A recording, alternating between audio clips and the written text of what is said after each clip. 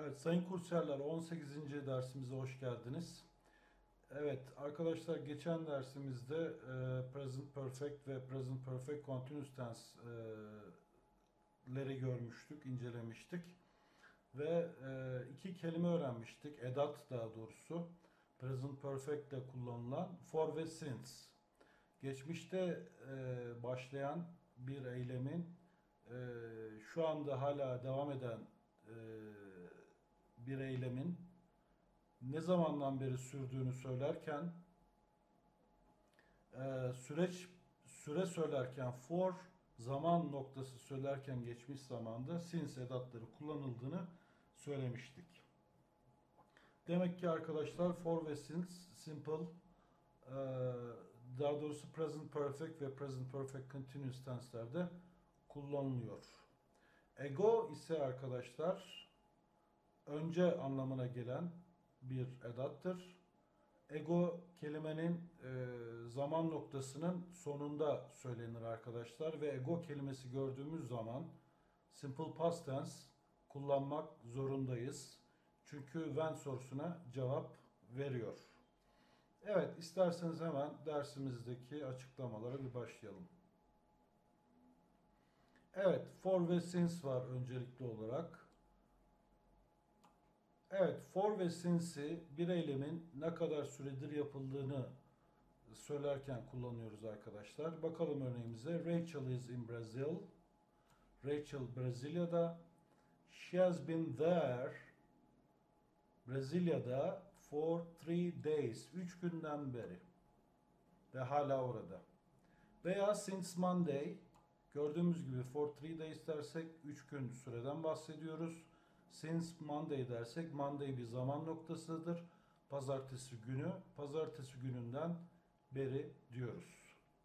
Evet, for'la birlikte arkadaşlar a period of time yani bir süreyi kullanıyoruz. 3 gün, 2 yıl, 10 yıl, 2 saat gibi veya uzun bir zaman e, gibi. Ama since'den sonra ise arkadaşlar bir zaman noktası, zaman başlangıç noktası kullanıyoruz. Buradaki örnekte olduğu gibi.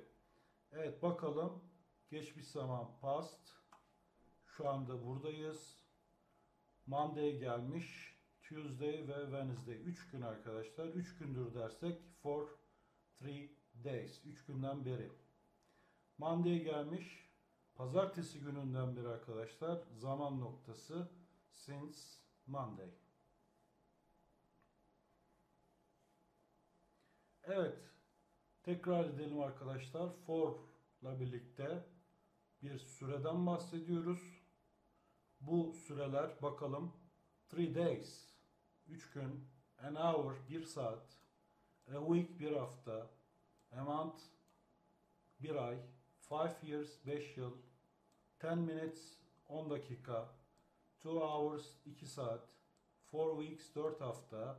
Six months. Altı ay. A long time uzun süre. Örneklerimize bakalım. David has been in Canada for six months. David 6 aydan beri Kanada'da. Hala orada mı? Evet orada. We have been waiting for two hours. 2 saattir bekliyoruz. I have lived in Chicago for a long time. Uzun süreden beri Chicago'da yaşıyorum. Gördüğümüz gibi arkadaşlar e, kullandığım tensler present perfect ve present perfect continuous tensler. Evet sağ tarafa geçelim since'e. Since'de arkadaşlar geçmiş zamanda e, başlangıç noktası e, kullanmak e, zorunda olduğumuzu söyledim. Yani bir zaman noktasından bahsediyoruz. Bunlar nedir? Monday, pazartesi, 9 o'clock, saat 9. July the 4th 4 Temmuz January Ocak ayı 2000 2000 yılı Wednesday çarşamba günü 12.30 12.30 My birthday doğum günüm. Şimdi dikkat edin arkadaşlar. Bu zaman noktasını geçmiş zamanda simple pasta'da ifade edebilirim. I was 10 years old. 10 yaşından beri ben 10 yaşındayım. I was 10 years old. 10 yaşındaydım. o zamandan beri. We arrived since we arrived geldiğimizden beri. Dikkat edin arkadaşlar for'dan sonra böyle simple past bir cümle kullanamıyorum ama since'ten sonra simple past tense'te olayın geçmişteki olayın ne zaman yapıldığını ifade eden bir eylem kullanabilirim. Biz buna close diyoruz yani tümce diyoruz. Since'ten sonra simple past tense'li bir tümce getirebiliyorum arkadaşlar. Örneklere bakalım. David has been in Canada since January. David e, Ocak ayından beri Kanada'da. We have been waiting since 9 o'clock. Saat 9'dan beri bekliyoruz. I have lived in Chicago since I was 10 years old. 10 yaşından beri Chicago'da yaşıyorum. Evet, şimdi geldik arkadaşlar ego. Ego kelimesi arkadaşlar simple past tense kullanımı gerektiriyor. Çünkü önce demektir. Ee, bakalım. Anna started her new job three weeks ago. Anna işine, yeni işine 3 hafta önce. Dikkat edin arkadaşlar ego en sonuna geliyor. Yani ilk önce zamanı ifade ediyorum. Süreyi. Daha sonra ise ego diyorum. Başında gelmiyor yani ego 3 weeks diye bir şey yok. When did Tom leave? Tom ne zaman gitti, ayrıldı? 10 minutes ago. 10 dakika önce. I had dinner an hour ago. Bir saat önce akşam yemeğimi yedim. Life was very different a hundred years ago.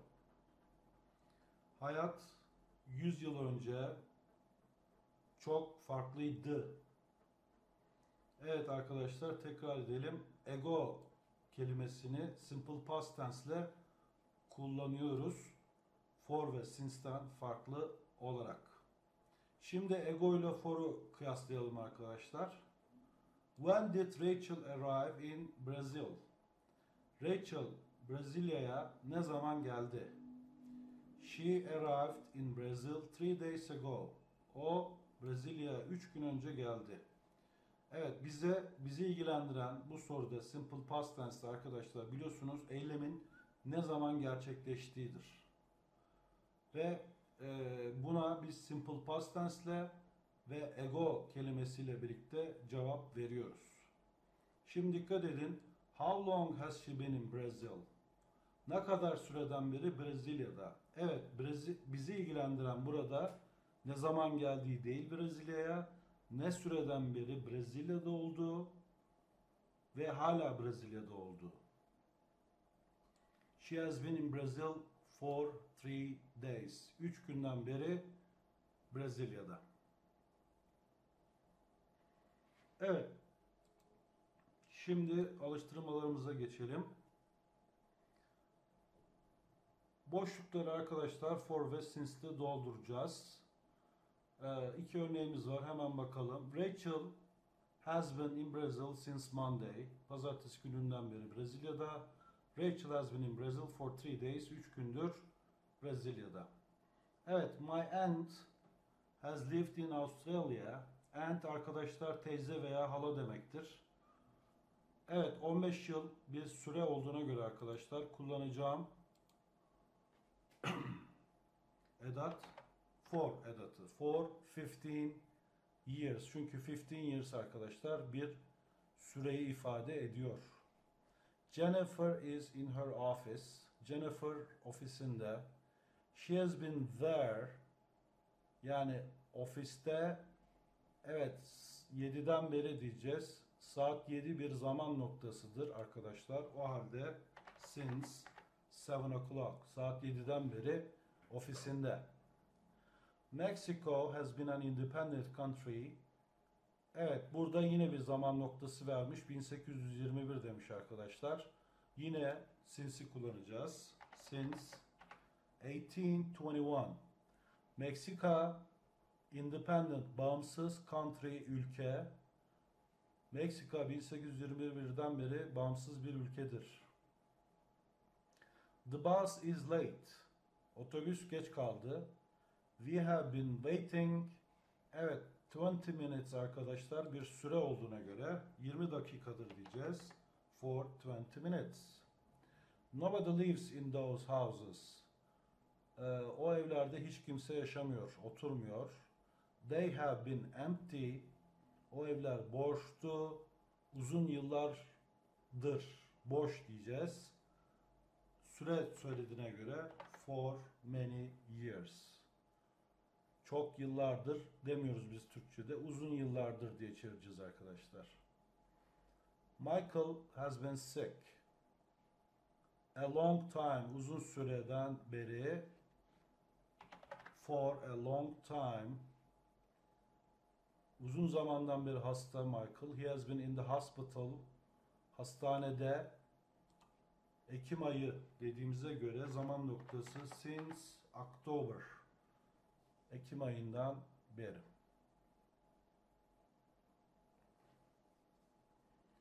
Evet, bu sorular var. Bu soruları ego ile cevaplayınız diyor. Ego'yu kullanarak. When was the last time you ate? Son ne zaman yemek yedin? Three hours ago. 3 saat önce. When was the last time?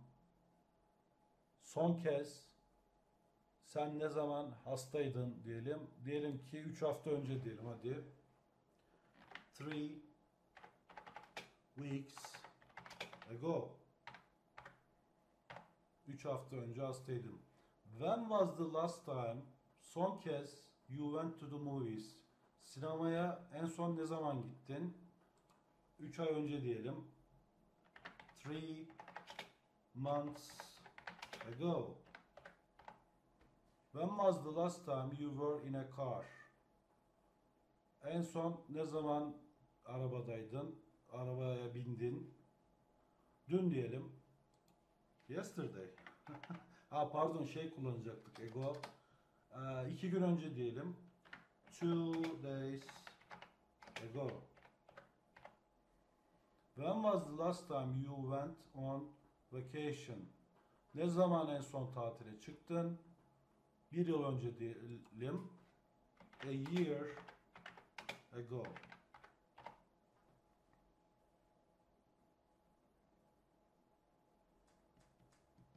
Evet, şimdi yine cümleleri tamamlayacağız. Bu kez arkadaşlar for veya ego kullanacağız.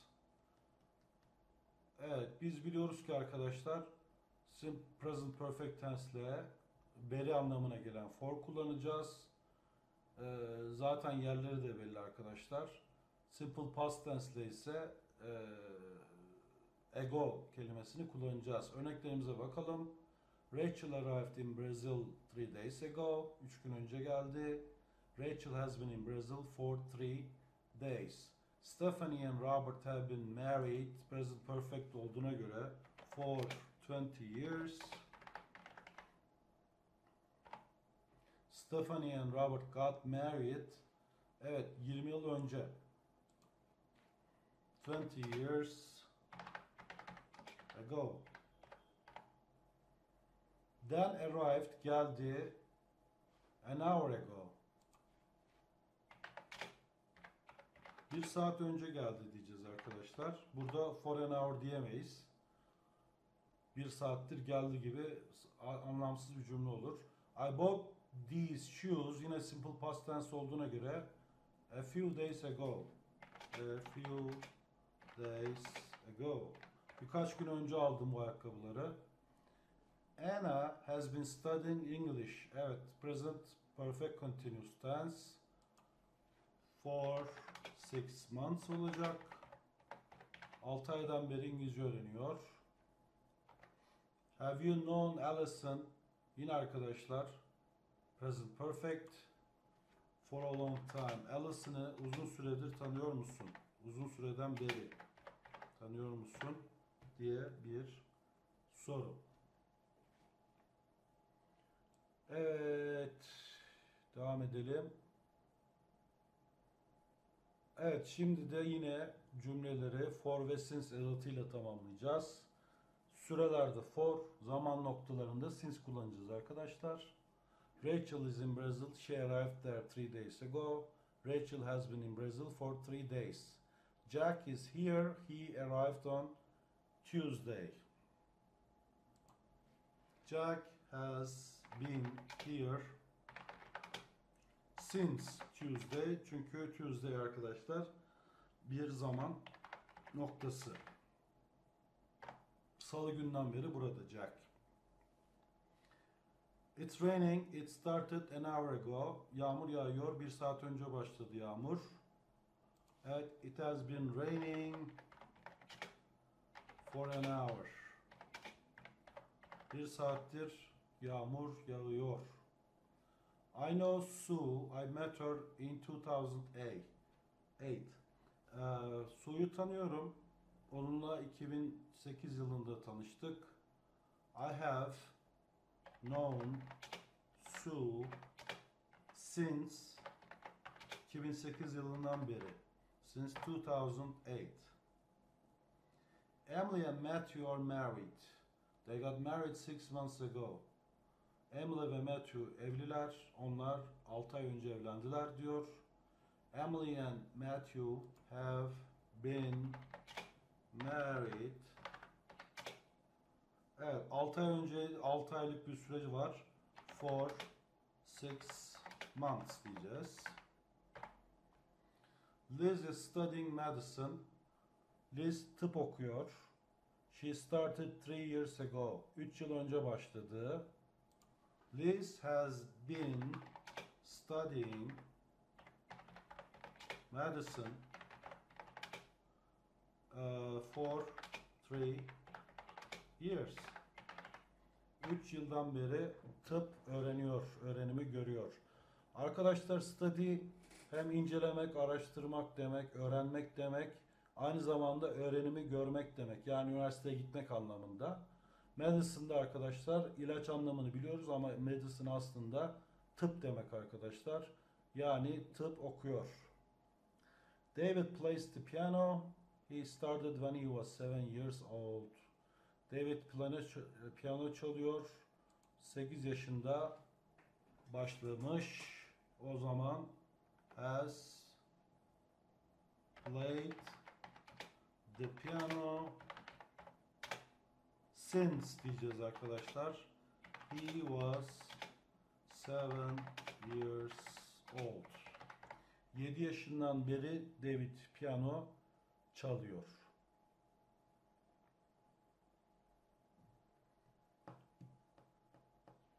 Evet, kendinizle ilgili cümleler yazın diyor. Neler var burada? I have lived, yaşıyorum. I have been, bir yere gitmiş. I have been studying, öğreniyorum. I have known, tanıyorum. I have had, işte sahibim. Örnek cümleye bakalım. I have lived in this town for three years. 3 yıldan beri bu şehirde yaşıyorum. Hala yaşıyorum tabii ki. İkinci cümleye bakalım. I have been İstanbul'da olsun eee, ne diyelim eee, yabancı biri mesela nasıl soralım? Sen ne ne kadardan ne ne kadar süredir İstanbul'dasın diye soralım.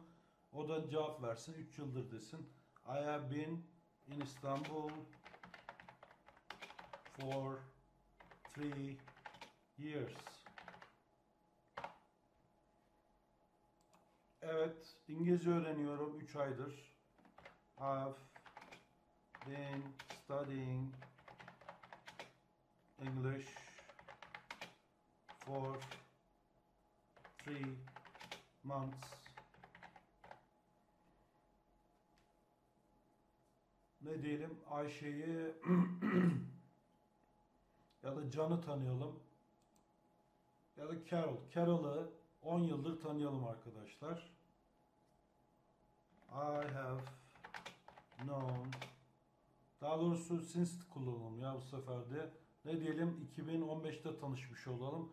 2015'ten beri tanıyorum diyeceğiz. I have known Carol since 2015. Evet, bir arabanız olsun arkadaşlar. Arabanızda Aa, 2017 yılında almış olun. I have had this car since 2017. Evet. Böylece arkadaşlar gördüğümüz gibi present perfect tense kullanıyoruz veya perfect continuous herhangi bir fark yok.